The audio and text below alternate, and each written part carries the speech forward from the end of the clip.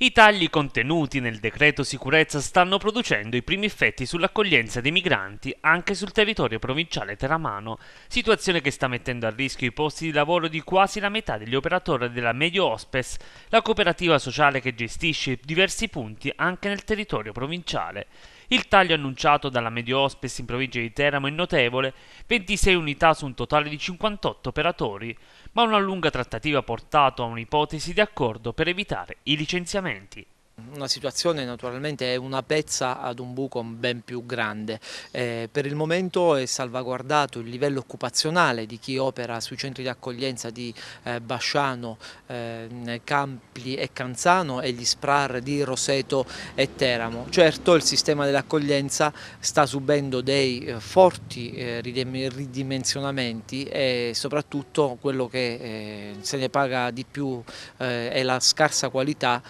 che non nonostante gli sforzi degli operatori, necessariamente eh, si offrirà al, eh, ai migranti. Ad essere ridotti sono le ore di insegnamento, anzi vengono ehm, proprio escluse dai nuovi bandi dell'accoglienza le ore di insegnamento della lingua italiana, quelle di assistenza ehm, psicologica e le ore di eh, mediazione, tutto ciò che qualifica il sistema dell'accoglienza. Quanti sono in totale i lavoratori a rischio?